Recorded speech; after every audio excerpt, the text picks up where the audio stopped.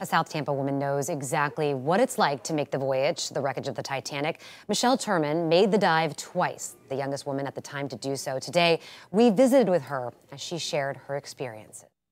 Here's a picture of me. It's a black and white. This was Michelle Turman at 27, the curator of collections for the RMS Titanic. In 2000, she made the expedition nearly two and a half miles beneath the ocean's surface. I would tell you that after I did it, I would absolutely do it again. Even in light of what's happening now, I, I probably would still do it. Turman and two others were in the submersible, a different vessel than the one operated by OceanGate. The types of subs that we worked on um, were tested by the military. They were research vessels where we were actually extracting artifacts from the bottom of the ocean floor. But she says the same concerns existed oxygen, temperatures, the weather, and timing. Uh, the ideal time to go is really end of July, August. So it's interesting to me why they're out there now. She also understands what the families of those on board must be feeling. She says her family had the same worries.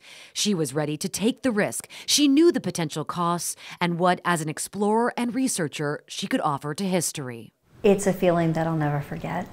It is overwhelming, it's humbling.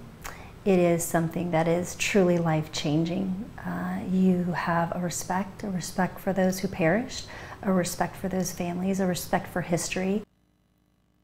And she also wrote a book about taking risks in life. It's called Jumping the Q, in which she has a chapter dedicated to her experiences diving the Titanic, the rewards, and of course, the risks.